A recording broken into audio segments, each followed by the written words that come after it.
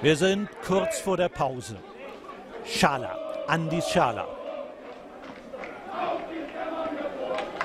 Und dann diese Aktion, dieses Foulspiel von Schütze gegen Schmidt. Da müssen wir noch mal genau hinschauen. Max Burda aus Berlin gibt Strafstoß für den FC Karl Zeiss. Berührung ist da, kann man geben. Und der gefaulte Spieler, der ist 20-jährige Schmidt, übernimmt Verantwortung gegen Nagel. Schmidt gegen Nagel, Nagel ohne Chance. 1 zu 0 für Karl Zeiss Jena dank dieses Elfmeters. 1 zu 0 Jena, das ist auch der Stand nach 45 Minuten. Und Achim Hollerith, der verbringt zwei Minuten erst einmal auf dem Rasen und geht dann